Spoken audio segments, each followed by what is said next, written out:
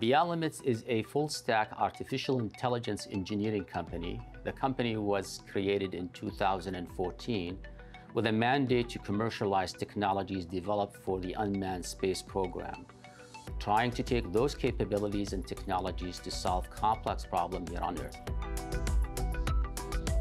We're applying those technologies, for example, to solve industrial applications like the energy sector. They have similar challenges like deep space. You're operating in a very harsh and dynamic environment. So they operate in the uh, Gulf of Mexico, Sub-Sahara, and the Arctic Sea. We now are in the middle of the C round. We're very excited about this phase uh, because of a couple of things. One is diversity of portfolio of customers. Uh, that's a sign of maturity for a, our, a company our size. Uh, also, we're expanding our global footprint. Uh, we're right now negotiating with uh, strategic partners to basically expand our product uh, delivery into all continents uh, globally. One of the new products we are introducing is a strategic relationship with Xcel to build the first cognitive power plant. Uh, this is exciting for us because we're building the technology from the ground up where we're embedding AI technologies and capabilities to create a power, a power plant that would be more uh, efficient, uh, safer, and environmentally uh, friendly.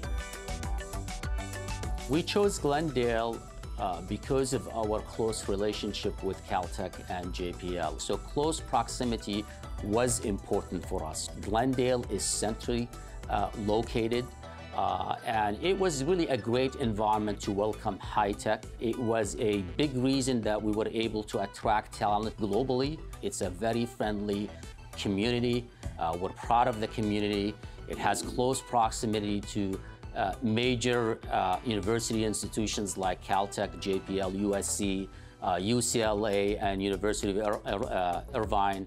We're very close to a uh, regional airport, uh, Burbank, Glendale, Pasadena Airport. And we believe in the community and we are very, uh, we're appreciative also of the support we're getting from the city leadership. I see Glendale evolving as a, a technology hub in a significant way. Uh, one thing I'm very proud of uh, in Glendale, you have two unicorns in Glendale, and we're hoping that Beyond Limits will be the third unicorn in Glendale. Uh, I think we're creating an alternative uh, environment to Silicon Valley here in Los Angeles, and specifically uh, in Glendale, in attracting a lot of uh, talent and encouraging entrepreneurs uh, to create a very viable ecosystem uh, here, and we're, we're proud of that.